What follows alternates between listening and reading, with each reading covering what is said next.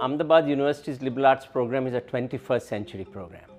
Um, it's very contemporary, it's contextual, and it is very rigorous. But there are three parts of it which make it very unique. One, the program is very interdisciplinary. Two, um, it focuses on experiential learning.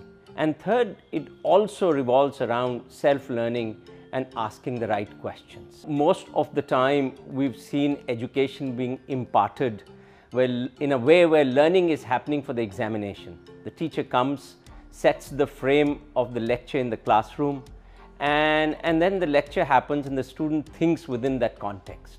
However, um, if you keep the question in mind and the context very clear, and, and, and the exploration is outside the format of the classroom, then what you need to do is ask the right questions, learn and search more. So this is what you do as a researcher, uh, where you are trying to find out what's the question to ask, what is the right methodology through which I answer this question, and what are various options available.